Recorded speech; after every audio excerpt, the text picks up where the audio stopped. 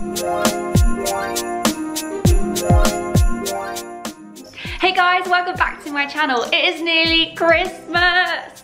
I am doing my Christmas countdown. Seven days, seven recipes. This year for entertaining, we're keeping it simple. Simple, delicious food that is sure to impress with no fuss. I hope you guys enjoy them. Merry Christmas.